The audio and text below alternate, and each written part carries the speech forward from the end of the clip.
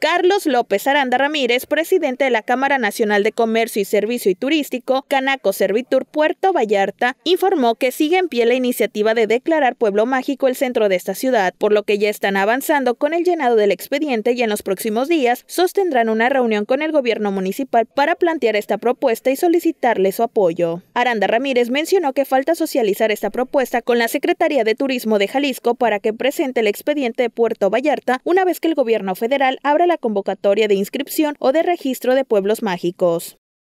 que no se vea que está de más o como para qué. Quienes trabajamos en los programas en el Consejo Nacional de Comités Ciudadanos de Pueblos Mágicos y sí vemos ese cambio importantísimo que sufren centros históricos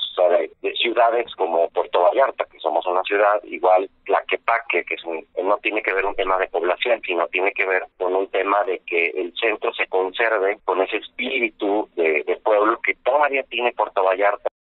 algo que distingue a Puerto Vallarta de otros destinos de playa, dijo que es el espíritu de pueblo que se tiene en el centro histórico y que no se debe de perder, por lo que se espera que con este nombramiento deberá de conservarse y se trabajará más para dignificarse. En conjunto con otras eh, cámaras, obviamente con gobierno municipal, estoy próximo a tener una reunión para platicar de esto y que pues entre todos lo impulsemos.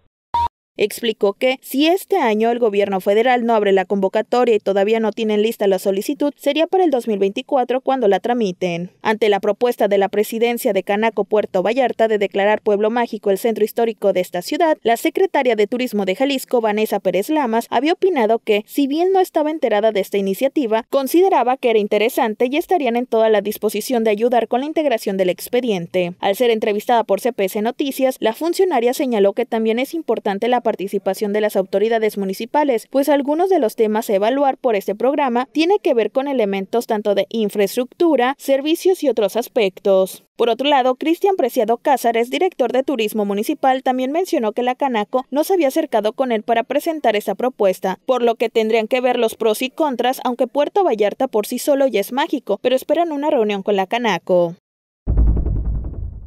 Con imágenes de Ángel Martínez para CPS Noticias, Brenda Beltrán.